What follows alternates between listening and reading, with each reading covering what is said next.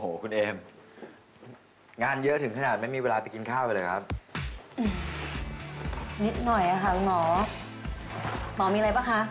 อยากให้เอมช่วยอะไรนี่บอกได้หมดเลยนะคะเอมยินดี ขอบคุณมากครับ นี่เลยครับ คุณแก้วเป็นเพื่อนผม สวัสดีค่ะ สวัสดีค่ะ ค่ะ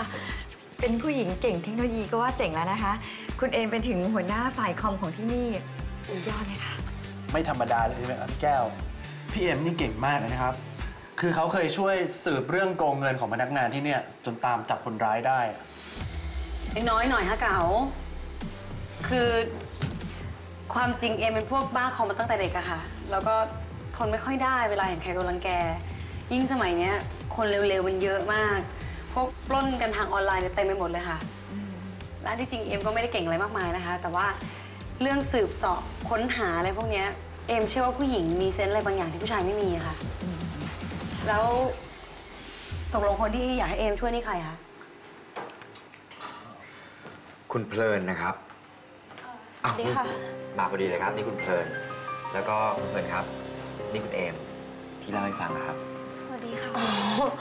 ไม่น่าเชื่อเลยนะคะว่าจะเป็นคุณเพลิน เอมที่เป็น FC คุณเพลินนะคะ ยังไงยินดีด้วยเรื่องแต่งงานนะคะอ่า ค่ะ แต่ว่าถ้าคุณเอมไม่ช่วยเนี่ย เพลินคงไม่ได้แต่งค่ะ ไม่ต้องห่วงหรอกนะคะ ไอ้โจรพวกนี้มันชอบทิ้งร่องรอยไว้ อย่างเคสล่าสุดที่ช่วยพี่พยาบาลคนนั้นไว้อะไอ้นั่นโง่มากนะคะ มันให้เลขบัญชีตัวเอง ก็เลยโดนจับเอาง่ายๆเลย โจรแบล็กเมย์พวกเนี้ยสุดท้ายมันก็ต้องเรียกเงินค่ะ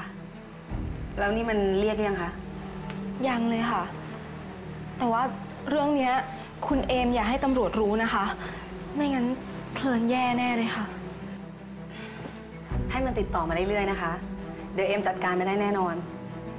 แล้วเอมก็ต้องขอข้อมูลทุกอย่างจากคุณเพลินด้วย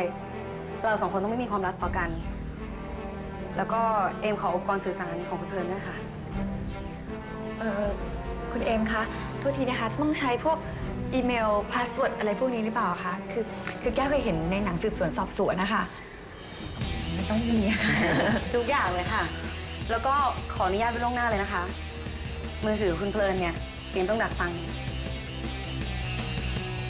อ่าโอเคค่ะ ยังไงก็ได้ขอแค่ให้คุณเอมเนี่ย ช่วยให้เดมอนมันออกไปจากชีวิตเพลินค่ะ ไม่ต้องห่วงค่ะ บอกคะครับ ยังไงอย่าบอกใครนะคะว่าเอมช่วยไม่งั้นเดี๋ยวเอมโดนไล่ออกแน่ ได้ครับ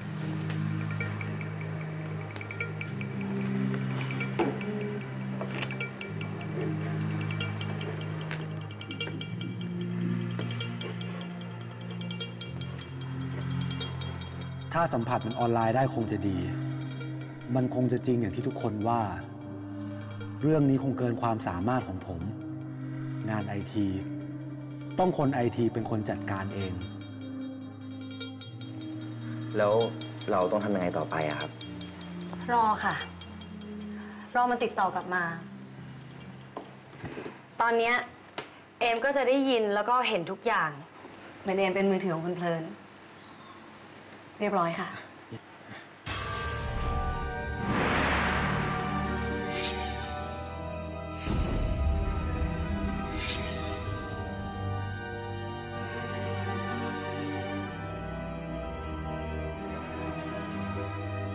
เติมเติมเห็นอะไรหรือเปล่าอะผมผมเห็นเห็นผู้ชายคนหนึ่งอะครับ แต่ว่าไม่ไม่รู้ว่าที่ไหนเลยอะแล้วเขากำลังคุยโทรศัพท์ครับ เขาเป็นใครคะ แล้วมันอยู่ที่ไหนกันแน่คะ หรือว่าหรือว่าจะเป็นเดมอนคะ คือเพลิน เพลินกลัวค่ะ เออ เดี๋ยวนะคะ อันนี้นี่คือเห็นอะไรเหรอคะคุณเติม คืออย่างนี้ครับ เติมเขามีสัมผัสพิเศษอะเขาเห็นภาพนิมิตได้ เป็นเรื่องในอดีตหรือว่าจะเป็นเรื่องในอนาคตก็ได้ เหรอคะ นี่คุณหมอไม่ได้พูดเล่นใช่ไหมคะ ไม่ได้พูดเล่นค่ะ เรื่องจริงค่ะ สิ่งที่เติมเห็นเนี่ยสามารถจะช่วยคนมาได้เยอะแล้วนะคะ อ๋อเหรอคะงั้นก็ดีเลยดิคะ ก็ให้คุณเติมตามหาเดมอนเลยสิคะ เอมจะไม่ต้องช่วยอะไรตรงนี้ แล้วยังไงคะคุณเติม เดมอนเนี่ยเป็นใคร ชื่ออะไร บ้านอยู่ไหน เบอร์โทรอะไร คือพี่เอมครับ พี่เติมเนี่ยเขาเลือกไม่ได้ว่าเขาอยากเห็นหรือไม่อยากเห็น มันจะเห็นขึ้นมาเองอะอ้าว แล้วถ้าเลือกไม่ได้แบบนี้เนี่ยจะไปเรียกสัมผัสพิเศษได้ไง นี่คุณเอมครับ คือถึงแม้ว่าสิ่งที่ผมเห็นเนี่ยมันอาจจะไม่ชัดเจนระบุไม่ได้ว่าที่ไหนเมื่อไหร่อะไรยังไง แต่คือมันมันก็ดีกว่าเราไม่รู้ไม่เห็นอะไรเลยไม่ใช่เหรอครับ ใช่ค่ะ ที่สำคัญสิ่งที่เติมเห็นก็ไม่เคยพลาด อืมน่าสนใจนะคะ เหมือนใบหวยเลย ให้ตัวเลขไม่ค่อยตรงเท่าไหร่ต้องมาเดาๆต่อเองเลยเนี่ย เราคุยกันเรื่องคุณเพลินต่อดีกว่าครับ ก็ได้ค่ะ เอาเป็นว่าเรื่องของไฮเทคเทคโนโลยีเนี่ย เอมจัดการเอง แต่ว่าถ้าเป็นส่วนอภินิหาร อันนี้เอมจะไม่ค่อยถนัด เดี๋ยวให้คุณเติมกล้าจัดการแล้วกันนะคะอ๋อคุณเพลินคะค่ะ แล้วก็อย่าให้พวกมันรู้นะคะ ว่าโดนดักฟังมือถืออยู่ทำตัวเป็นปกติ ค่ะ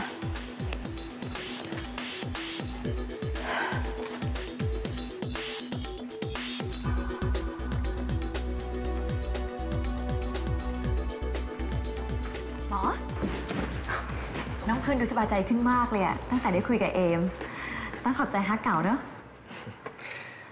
ที่เหลือก็แค่ รอให้หมอนั่นมันติดต่อกลับมา เอมน่าจะตามหาตัวได้ไม่ยากละ หมอว่าเติมอะจะน้อยใจปะที่พวกเราดูให้ความสำคัญกับเอมมากกว่า เป็นห่วงเป็นใยกันด้วยอะไรคิดมาก เติมเขาไม่ใช่คนแบบนั้นหรอกหน้า ดีซะอีก มีคนมาช่วยเยอะๆจะได้ไม่เหนื่อย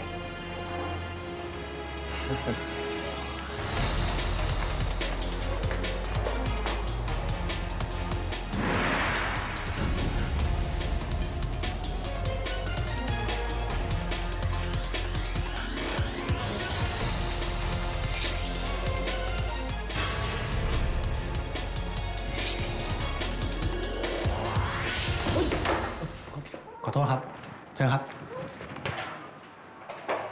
ฉันไม่เชื่อเรื่องสัมผัสพิเศษของนาย ก็จริงนะครับ แต่คุณรู้ไหม ยุคนี้เนี่ยมันมีอย่างหนึ่งที่ตามเราตลอดเวลา อะไร กรรมไง